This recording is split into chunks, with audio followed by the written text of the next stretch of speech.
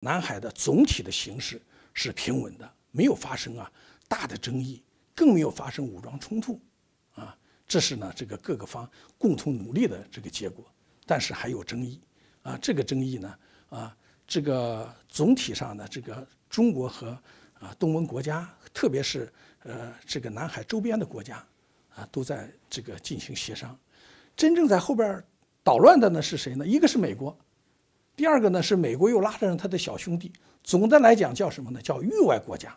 他域外国家在挑挑起这个争端，主要还是针对中国吧。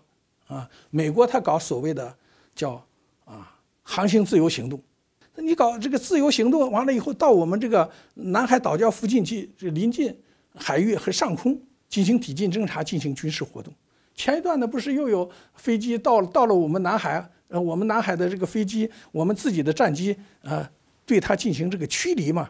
他认为我们什么又是不专业了，又是什么了？我认为呢，就是太专业了。我们这如果不专业呢，就撞上它了。就是因为我们的飞行员是按照这个合法、合合理、合规啊，是按照规则进行来的。